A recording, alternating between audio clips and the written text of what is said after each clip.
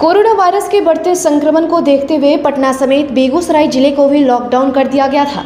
Lockdown के चौथे दिन बेगूसराय का नज़ारा देखने के बाद ऐसा प्रतीत हो रहा है कि बेगूसराय में लॉकडाउन नाम का शब्द ही नहीं।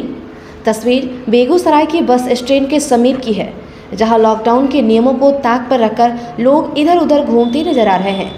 बेगूसराय में लॉकडाउन होने के बावजूद कई ऐसे दुकान हैं जो खुले हुए हैं। साथ ही साथ आवाजाही भी चालू है।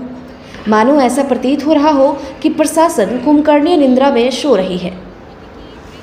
एक तरफ़ बिहार में लगातार कोरोना वायरस का मामला बढ़ते ही जा रहा है तो वहीं दूसरी तरफ़ लोग मानने को तैयार नहीं। कहीं कहीं तो होटल भी खुले हुए, जबकि आदेश मिला था कि इमरजेंसी सेवा को छोड़कर कुछ भी नहीं खुलने चाहिए।